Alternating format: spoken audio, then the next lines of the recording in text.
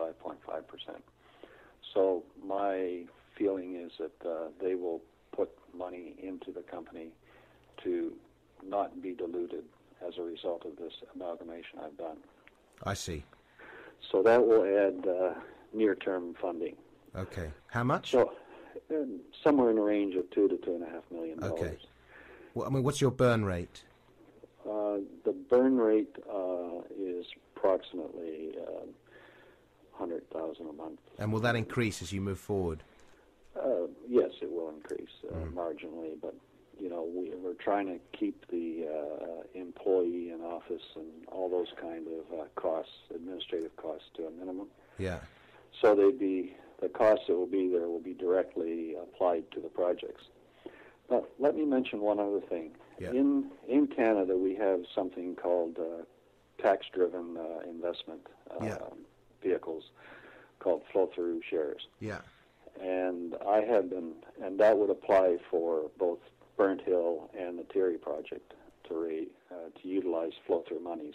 So these are, if you will, uh, hard dollar or non-hard dollar monies, such as the existing money in the Treasury and whatever Trafigura might put in. If we classify that as hard dollar, then the flow-through money is sort of soft dollar and I have no trouble uh, visualizing raising uh, adequate funds in, in Canada in a flow through mechanism to uh, pursue both Thierry and uh, Burnt Hill.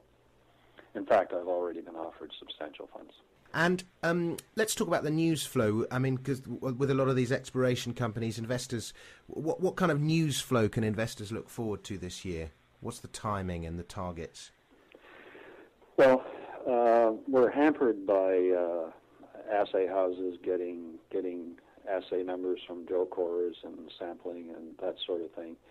But that having been said, I anticipate uh, somewhere in the range of uh, two news releases per month uh, at, at a minimum for the for the next while. There's a sufficient uh, spread of projects that uh, there can always be something to be said. Okay. And uh, give me some blue sky. I mean, you know, I'm just uh, ordinary Joe investor. Why? Why should I buy Cadillac Ventures ahead of anyone else? What? What, is it that that uh, is the key selling point for Cadillac Ventures? Or give me a couple of, you know, unique selling points. Well, we have a more of a, a global look than a parochial look, uh, in, like say, just Ontario, for instance, where we have the ability to look worldwide through our association with Trafigura. They are uh, number two commodity broker in the world, so they have a stream of uh, projects that come to them from various places, and we get to look at those, and those that are interesting, we can participate.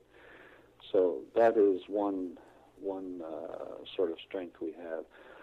Also, uh, when it comes to a, valid and viable project which is deserving of um further additional investment, I already have uh, access to 25% of, of whatever money is needed through this agreement, again with Trafigura.